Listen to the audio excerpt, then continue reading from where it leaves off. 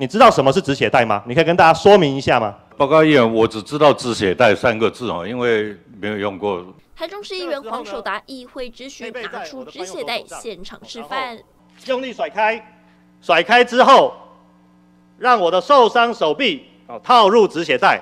绿营议员集体简易操作，要展示的对象是台中市警察局长。议员认为，远警之情常遇袭，面临失血风险高，应该随身配备止血带。哦，我们无意去增加基层远警的负担，但是我们希望能够提升大家哦自救和互救的紧急应变能力。我们赶赴刑案现场是要救人，不是警察看到别的人哈，第一个时间会去处理自己的这个伤势。我们同仁出勤。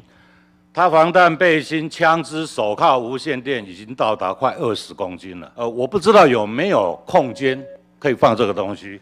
但我们会研究。其实这蓝色战术止血带是过去战场上的止血利器，主要是用来阻断动脉血流，避免失血过量造成生命危险。在车祸、枪伤等情况下都可能会使用到，不过只适用于四肢，而且使用超过两小时，就有可能造成组织损坏。非常遗憾哦，我们警察局局长哦对于止血带态度是如此的消极。一个的重量大概是八十公克，八十公克到底有多重？再重有比人命重吗？针对议员建议，台中市警局回应，经衡量结果，远警除需救护伤患，还需封锁保全现场，调查案情，警消各司其责，已施行多年，因此尚无采购止血带必要。